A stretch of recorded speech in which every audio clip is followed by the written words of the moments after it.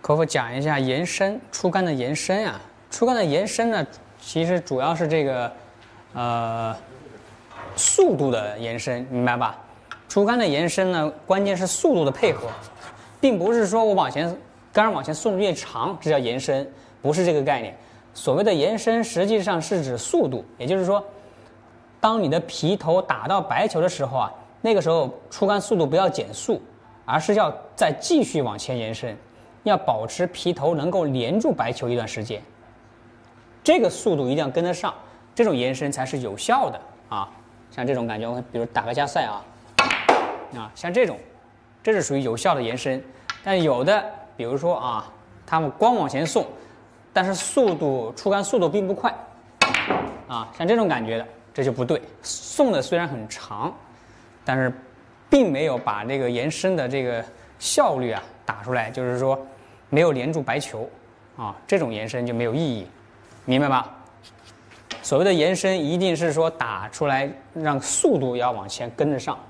再来演示一下啊，啊，像这种感觉啊，这就是有点延，就是延伸的感觉，特别是低杆更明显，但是低杆可能不好不好掌握啊。低杆，低杆一定是要所谓的延伸，其实指的是这个，但是呢，其实低杆送的并不是很长。所谓低杆延伸，就是指的出杆时皮头碰到白球的速度啊，一定要继续加快啊，指的是这个感觉。啊，指的是这个感觉。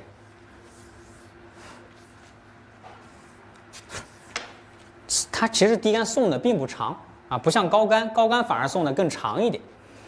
但是高杆的这种延伸呢，其实有的时候它并不是有效的，它只是为了让杆更顺畅而已。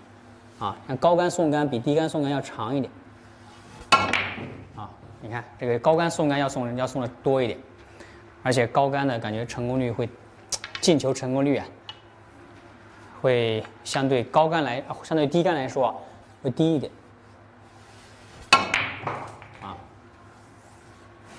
好吧，这是对延伸的一个理解。新锐台球。